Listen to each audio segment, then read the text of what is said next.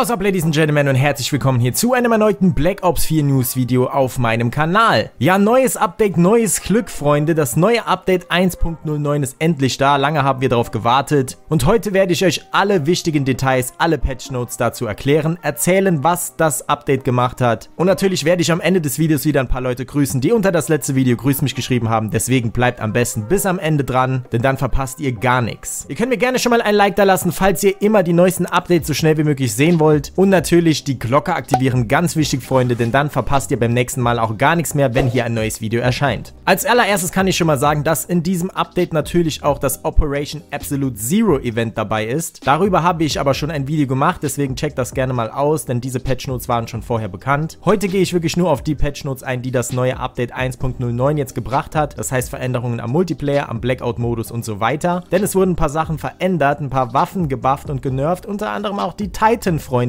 Deswegen bleibt gespannt. Nochmal kurz zum Operation Absolute Zero Event. Natürlich haben wir zwei neue Waffen bekommen, beziehungsweise drei neue Waffen. Hijacked ist dabei und der neue Spezialist namens Zero. Aber wie gesagt, darüber habe ich schon ein Video gemacht. Deswegen hier nochmal kurz die Anmerkung, was dieses Update gebracht hat. Also kommen wir direkt zum wichtigsten Punkt und zwar dem Multiplayer-Modus. Was wurde am Multiplayer-Modus geändert? Ihr kennt ja sicherlich alle schon das Ekia-System. Das heißt, das Scoreboard in Black Ops 4 funktioniert ja nicht mehr nach Kills, sondern nach Ekia. Das heißt, wenn wir jemanden anhitten, hitten und er von einem anderen Teammate gefinisht wird, dann bekommen wir trotzdem einen Punkt bzw. einen Kill aufgeschrieben. Und das Ganze wurde jetzt noch erweitert. Und zwar bekommen wir jetzt auch einen Ekia-Kill bzw. einen Ekia-Punkt, obwohl wir gestorben sind, bevor unser Gegner, den wir angehittet haben, gestorben ist. Das heißt beispielsweise, ihr schießt jetzt jemanden an, der tötet euch aber und nachdem ihr schon gestorben seid, wird der Gegner, den ihr angehittet habt, getötet von einem Teammate innerhalb von 5 Sekunden ungefähr oder so. Und dann bekommt ihr trotzdem noch auf euer Scoreboard ein Punkt dazu gerechnet. Ich hoffe, ich habe das Ganze jetzt richtig verstanden, habe es euch richtig erklärt. Falls da irgendwas nicht stimmt, werde ich das nochmal in die Kommentare schreiben. Aber so wie ich das jetzt verstanden habe, wird es wirklich sehr, sehr schwer werden, auf dem Scoreboard jemals wieder negativ zu gehen, weil man ja irgendwie unendlich viele Kills aufgeschrieben bekommt, beziehungsweise unendlich viele Ekia. Man kann jetzt sogar sterben und respawnen und bekommt trotzdem noch den Ekia. Also ich denke mal, ich habe das jetzt richtig verstanden, aber das ist jetzt nur so ohne Gewehr, Freunde. Falls sich da was ändert oder ich irgendwas übersehen habe, schreibe ich das natürlich in die Kommentare rein. Dann kommen wir direkt zu den Spezialisten, denn dort wurde auch etwas verändert. Der Prophet wurde nämlich genervt. Das heißt, er hat jetzt nicht mehr 14 Munition, sondern nur noch 10. In seinem Tempest natürlich. Und die Genauigkeit vom Tempest wurde auch ein bisschen verändert. Ich denke mal, sie wurden ein bisschen runtergesetzt. Ich finde es extrem witzig, dass gerade der Prophet genervt worden ist, obwohl es so viele Spezialisten gibt, die viel OPer sind als der. Also naja, was soll man dazu sagen? Firebreak wurde schon wieder gebufft, Freunde. Denn der Flammenwerfer connectet jetzt besser mit den Gegnern. Und auch die Seraph wurde gebufft.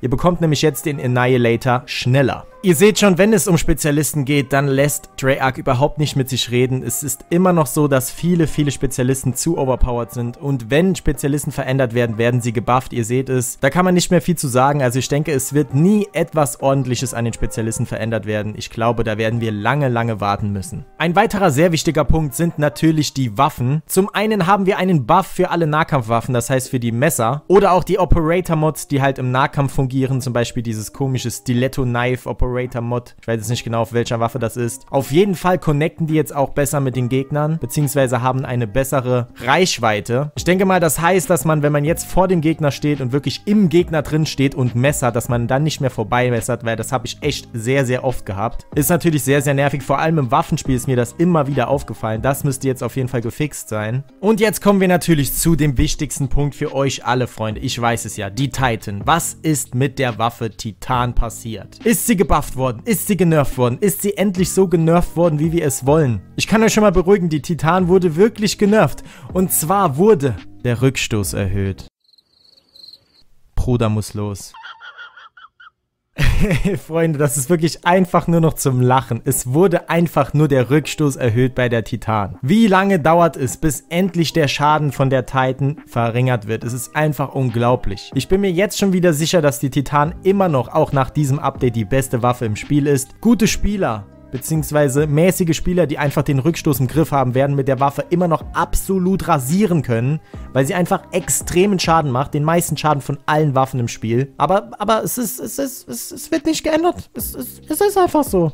Das ist so. Dann noch eine erfreuliche Nachricht, denn Nuketown ist endlich zu den eigenen Spielen hinzugefügt worden. Außerdem auch das Waffenspiel und der Geleitschutz. Ihr könnt jetzt also endlich eure Freunde zu einem 1 gegen 1 auf Nuketown herausfordern. Endlich. Dann auch eine krasse Änderung bei den Tarnungen, und zwar bei den reaktiven Tarnungen. Vorher war es ja so, dass wenn ihr zum Beispiel mit der Dark Matter Tarnung oder mit der Diamant Tarnung 5 Kills in Folge gemacht habt, ohne zu sterben, hat sich die Waffe verändert. Und wenn ihr dann nochmal 5 Kills gemacht habt, hat sich die Waffe nochmal verändert. Und das ging ja nur, ohne dass ihr gestorben seid. Jetzt ist das Ganze verändert worden und zwar bleibt das jetzt auch, obwohl ihr sterbt. Das heißt, wenn ihr einmal 5 Kills macht und die nächste Farbe einer Tarnung erreicht, dann bleibt die auch bis zum Ende vom Spiel. Diese Änderung finde ich eigentlich persönlich ganz gut, denn seien wir mal ehrlich, nur die wenigsten, allerwenigsten der Spieler erreichen wirklich mit einer reaktiven Tarnung eine Nuklear. Das heißt, die meisten der Spieler werden ihre reaktiven Tarnungen überhaupt nicht richtig nutzen können. Sie sehen immer nur die erste Farbe oder vielleicht mal die zweite. Jetzt hat auf jeden Fall jeder die Chance, bis zum Ende, also bis zu den 30 Kills zu kommen und zu sehen, wie sich seine Waffe verändert. Klar werden die richtig guten Spieler sich darüber ärgern, weil es so, ja, wieder so ein Prestigeobjekt war, das kann nicht jeder erreichen. Aber ich denke mal, so ist es wirklich besser für jeden. Das waren auch schon die Änderungen vom Multiplayer-Modus. Natürlich wurden wieder ein paar Bugs gefixt. Die Score-Streaks müssen jetzt auch besser funktionieren. Es dürfen ein paar Bugs weniger da sein. Aber jetzt gehen wir mal rüber zum Blackout-Modus, denn dort wurde wie immer natürlich viel mehr verändert als im Multiplayer-Modus. Als allererstes kommen wir mal zur Audio im Blackout-Modus, denn dort wurde extrem viel verbessert. Das heißt, die Audio ist jetzt insgesamt viel, viel cleaner, viel, viel besser. Ihr hört jetzt die Fußstapfen der feindlichen Gegner viel besser. Die Distanz, in der ihr die Fußstapfen von feindlichen Gegnern hört, wurde auch angepasst, sollte jetzt perfekt sein. Und unnötige Nebengeräusche, die das Ganze irgendwie unterbinden könnten, sind auch weg, beziehungsweise sind ein bisschen runtergeschraubt worden. Das heißt, wenn ihr jetzt wirklich mit einem guten Headset Blackout spielt, solltet ihr keine Probleme mehr haben zu erraten, aus welcher Richtung euer Gegner kommt, wie weit er entfernt ist und so weiter und so fort. Sehr, sehr gute Änderung, finde ich. Dann wurde extrem viel bei den Rüstungen verändert, das heißt diese Körperrüstungen, die ihr aufsammeln könnt, mit der ihr einfach mehr Schüsse aushaltet. Sehr, sehr wichtiges Objekt im Blackout-Modus, ohne die man eigentlich schon von vornherein verloren hat, wenn man sich nicht findet. Auf jeden Fall sollen jetzt Spieler, die mehr sich engagieren, mehr in den Zweikampf gehen mit anderen Spielern, belohnt werden dafür. Denn vorher war es so, dass wenn die Rüstung angeschossen wird, dass sie irgendwann beschädigt wird, irgendwann kaputt geht. Und wenn man dann im Endbattle nur noch ein, zwei Gegner hat und die anderen haben eine Rüstung, die haben sich die ganze Zeit im Haus verkämmt, ihr habt das nicht getan, dann seid ihr extrem im Nachteil. Das sollte jetzt verbessert sein bzw. ausgemerzt sein, denn ihr könnt jetzt eure kaputten Rüstungen reparieren mit Rüstungsteilen von euren Gegnern, die ihr gekillt habt. Und außerdem ist auch die Anzahl dieser Rüstungen in der Welt, also auf der Blackout-Map, reduziert worden. Das heißt, ihr findet sie jetzt eher in den Lootkisten eurer Gegner, die ihr besiegt habt, aber nicht mehr so sehr auf dem Boden allgemein. Und außerdem wurde auch die Langlebigkeit dieser Rüstungen verbessert bzw. erhöht. Was aber nicht verändert worden ist, ist die Standhaftigkeit der Rüstung. Das heißt, sie hält immer noch genau genauso viel aus wie vorher. Das heißt, ihr bekommt jetzt nicht weniger Schaden dadurch. Insgesamt wurde auch das Aussehen der Map ein bisschen verändert. Es wurde ein bisschen der Wintersaison angepasst. Wir haben jetzt winterliches Licht, winterliche Umgebung. Alles sieht ein bisschen winterlicher aus, weihnachtlicher, Freunde. Außerdem wurden auf verschiedenen Map-Parts ein paar neue Gebäude hinzugefügt, ein paar neue Garagen. Unter anderem zum Beispiel in Nuketown sind jetzt mehrere Garagen offen. Oder auf dem Abschnitt Hydro Dam gibt es jetzt zum Beispiel auch Aufzüge, die ihr benutzen könnt. Ihr könnt das Ganze natürlich auch nochmal detailliert detailgetreu nachlesen. Ich habe euch den Link von den Patch Notes natürlich unten in die Beschreibung reingesetzt. Dann wurde auch im Blackout-Modus ein bisschen etwas an den Waffen verändert. Und zwar macht die SDM jetzt weniger Damage, benötigt eine längere Zeit, um ins Visier reinzukommen und hat einen höheren Rückstoß. Und auch die Spitfire macht weniger Damage und hat einen höheren Rückstoß. Ja, Freunde, ihr seht schon, ein riesiges Update haben wir hier bekommen. Es waren auch wirklich wieder 15 GB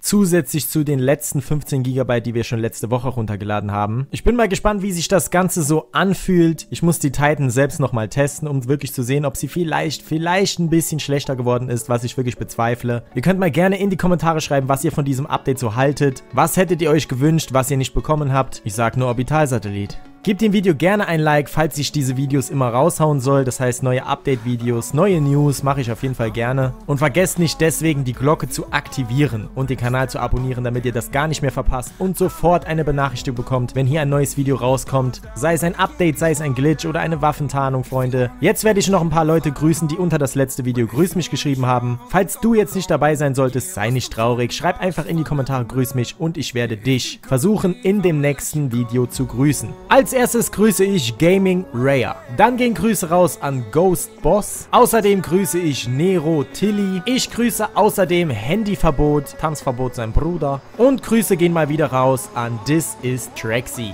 Also Freunde, wenn ihr das nächste Mal auch dabei sein wollt, schreibt einfach in die Kommentare, grüß mich. Das wäre es dann aber auch wirklich wieder gewesen von dem heutigen Video. Ich hoffe, es hat euch gefallen. Wie gesagt, liked, abonniert, Glocke aktivieren.